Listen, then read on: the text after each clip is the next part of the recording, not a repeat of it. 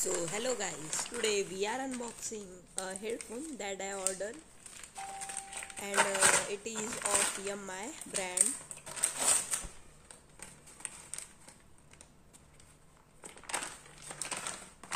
And guys it is somewhat cheaper. I got it in just 200 rupees.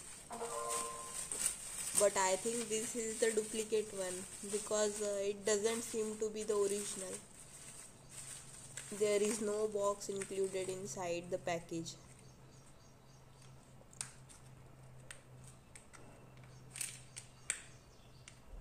But i think the quality of this headphone is nice.